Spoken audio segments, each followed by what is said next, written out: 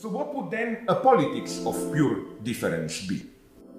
It would definitely not be what emerges today more and more as the ultimate horizon of the political, the so called uh, identity politics. Can we all just agree that Black Lives Matter? the politics of recognizing the differences, of tolerating differences. Hey, fellow white guy. What is for me problematic in this multiculturalist, tolerant politics and so on, it's not just the vulgar fact that they effectively, even if they deny it, neglect economic struggle. It's the very logic of the struggle ah. Learn what mansplaining is, and then stop doing it.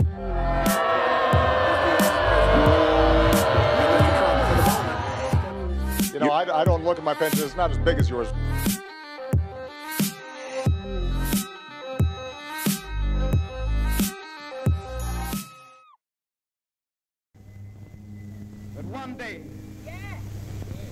This nation will rise up the logic of multiculturalist struggle, of anti-racist struggle, of sexist struggle, uh, struggle against sexism is again the logic of recognizing differences. For example, in anti-sexist struggle, the goal, of course, is not even for radical feminists, I don't know, to kill, to annihilate men. It's to establish an open field within which both sexes, all different sexual positions, sexual identities, cultural identities inclusive, will be allowed to thrive freely, so that one will not articulate itself at the expense of others. Again, in the anti-racist struggle, the ultimate horizon is that of opening up the space for differences. Each ethnic group, religious group, cultural group, way of life group should have the freedom to freely deploy, articulate its potentials, its position.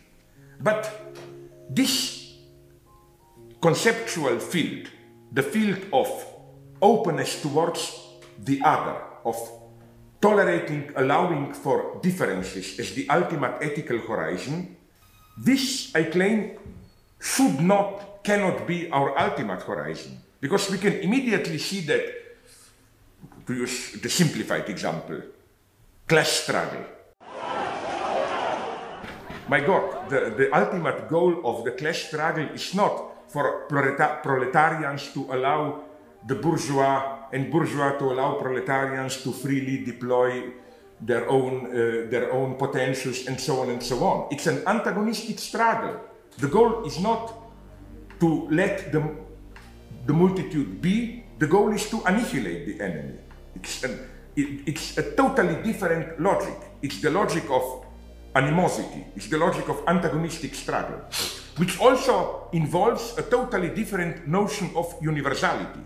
The notion of universality here is no longer universality as the encompa- en- uh, encompassing medium container of the plurality of uh, positions, sexual positions, cultural positions, whatever. No, universality is here the universality of struggle itself. There is also a central paradox to this struggling position. The position of struggle does not mean uh, the position of a particular identity and the abandonment of the universal notion of truth. The abandonment of universal notion of truth goes very well with multiculturalist politics, where you can say everybody has the right to narrate its own version of truth, there is no global truth. No, our position should be there is universal truth.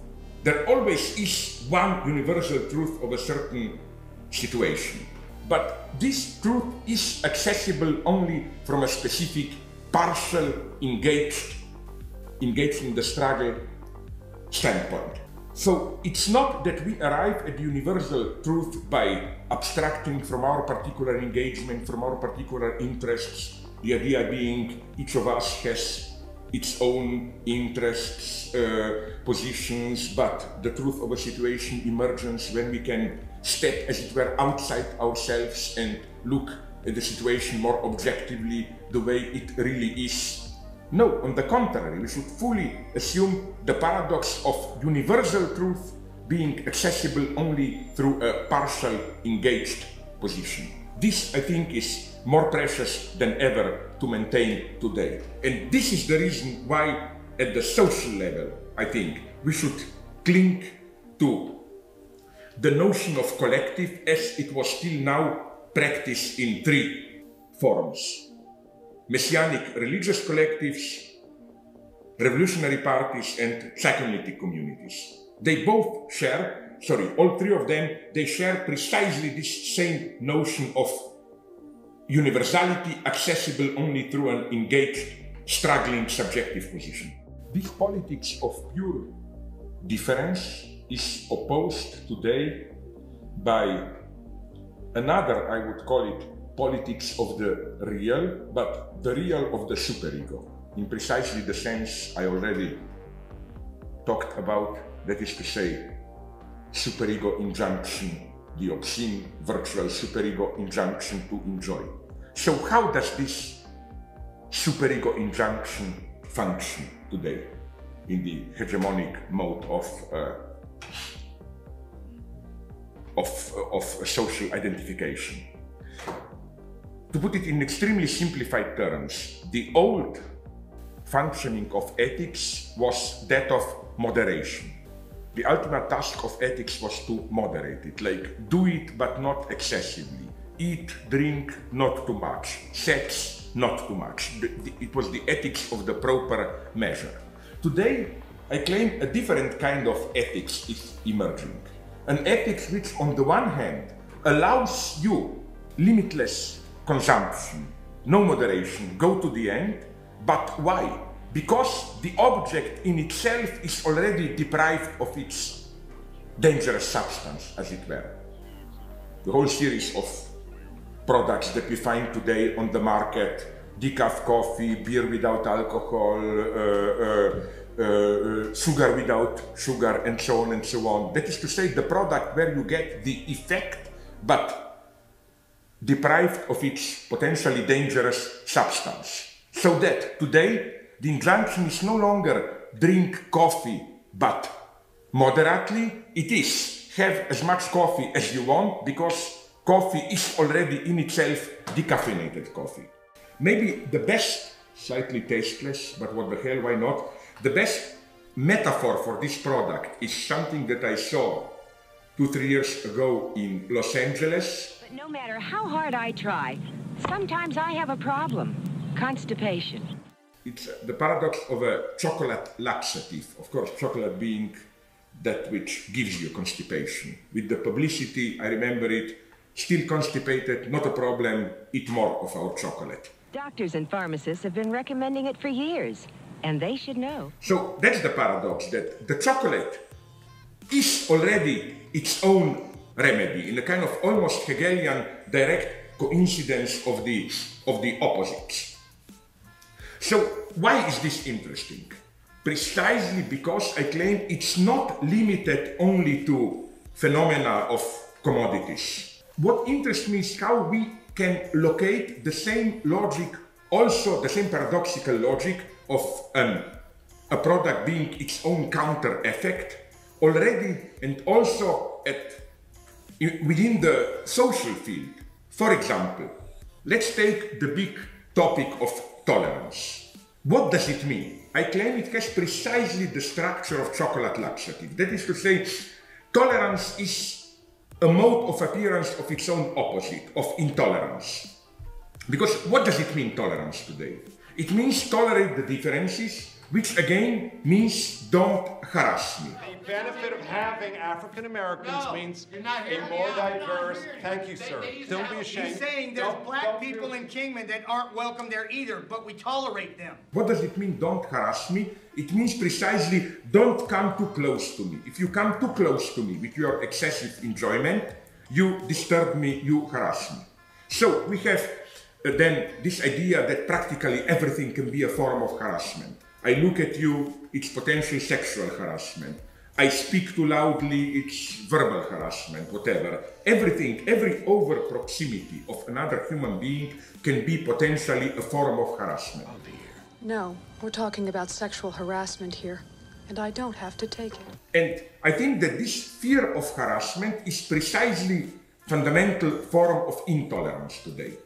And so, again, I claim that when we talk about tolerance today, means it means precisely uh, tolerance as avoiding harassment, which means intolerance. It means let's tolerate each other, again, which means let's keep from each uh, at a proper distance from each other. Yet another chocolate laxative phenomenon. Isn't it the way we deal with wealth today? The exemplary figure today for me here is somebody like George Soros. Half the day he engages in the most ruthless financial exploitations, ruining the lives of hundreds of thousands, even millions. The other half, he just gives part of it back. So the morning is chocolate, the afternoon is laxative, like, you know, involved in all these human aid programs and so on, political democratization and so on and so on. So again, instead of simply not engaged in ruthless speculation, he does it, but then includes counteraction. And even more radically, is it not exactly the same with war today? I think that uh, Ulrich Beck, the German sociologist, was well justified in inventing the term uh, humanitarian militarism. For what goes on today, where all the wars are declared as wars for peace. It's not only that their ultimate goal is defined as to bring peace into Iraq, to remove the threat of war, and so on and so on.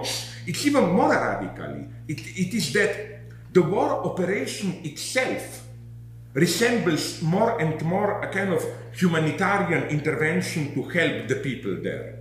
If you read, for example, the recent justification of attack on Iraq, it's not so much that Iraq was attacked in order to remove the threat to the Western nation of Saddam. It was in, er in order to help the Iraqi people and so on and so on. We will bring freedom to others and we will prevail. No wonder then that the ultimate chocolate laxative the concentration camps, as Giorgio Agamben claims, the typical exemplary case of a 20th century collective, has precisely these both aspects. Again, chocolate laxative structure. The aspect of isolating the enemy, Guantanamo or whatever, and the aspect of concentrating people for, in order to give them, to provide them with humanitarian aid. What this means are two things. First, I don't think that it is justified to talk today about consumption.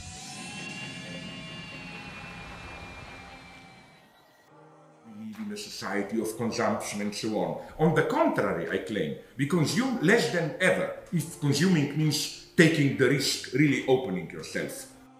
Which is why, incidentally, we are so afraid of, of uh, smoking. I claim it's not simply medical results and so on. What is so terrifying in smoking is somebody really consuming the smoke with all the dangers this involves. I think that the true consumers today are drug addicts, chain smokers, and so on. And they are the figures of horror today, if anything. Again, the structure is that of chocolate laxative, which is why we are all looking, even at this level, for products which would be already a kind of decaf coffee. Which is why I think marijuana is so popular. Because it's kind of decaf opium, de facto. No opium without opium. You can have it, but deprived of its uh, dangerous substance. So, to conclude this brief reflection, I would say that uh, today the fundamental, as it were, ethical injunction, the injunction society bombards us with, is no longer the injunction to control yourself, to repress your strivings or whatever. It's on the contrary, the injunction to enjoy it, to go to the end. This is what we feel guilty about today. And this, I think, also changes fundamentally the role of psychoanalysis. In the good old days, or so it appeared, now it's clear that it never was simply like that, the idea was the following one Let's say you are sexually frustrated because you internalized some uh, paternal or other prohibitions, you cannot enjoy sex, and the function of psychoanalysis is to, to uh, relieve you, release you of the pressure of this uh, internalized prohibition so you can let yourself go, you can enjoy. And in, in other words, you feel guilty if you transgress social prohibitions in order to enjoy. Today, it's almost the opposite. You feel guilty if you cannot make it, if you cannot enjoy. And we shouldn't take here enjoyment just in the immediate sense of sex, pleasure, of drinking, whatever. It can be uh, enjoyment of power, social success, professional success. It can be even spiritual enjoyment in the New Age sense, Gnostic sense of realizing your ego and so on and so on.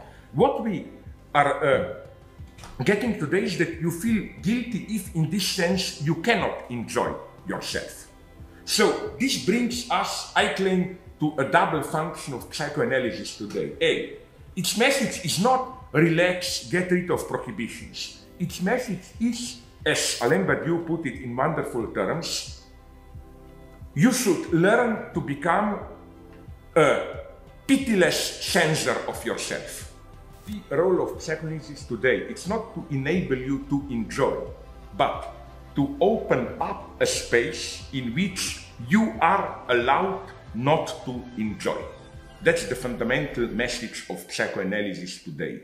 You are not obliged to enjoy. You are allowed not to enjoy, which of course, it's not the same as saying you are prohibited to enjoy. Just you are allowed not to enjoy. This confronts us furthermore with the paradoxes of today's superego, which is how, on the one hand, permissivity ends up in its opposite. Today, the is enjoy, the result is more prohibitions, regulations than ever. You can enjoy yourself, but in order to enjoy yourself properly, you are ordered to what? Not to eat too much, to engage in jogging, to, to take care of your fitness, not to smoke, uh, and so on and so on. Just look around, and I think there is nothing more miserable today than those younger couples or people who organize their life in order to enjoy themselves. The regulation is total.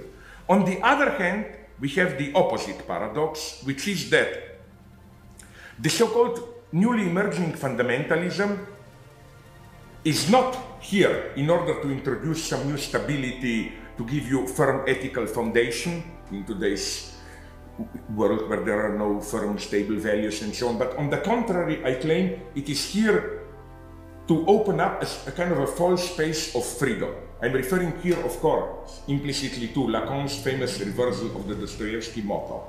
According to Lacan, it is not that if God doesn't exist, everything is permitted, but if God doesn't exist, everything is prohibited. This is the lesson of the hedonistic yuppies. And the opposite lesson, no less crucial, if God exists, then everything is permitted. Which means, if you can justify your role as that of being the instrument of the divine will, in other words, you hear voices, you have the contact with the guy up there, either George Bush or Osama bin Laden. As many people notice, this is what they have in common. They both hear directly from up there. Then you can do whatever you want. You can do terrorist acts, bomb countries, and so on and so on.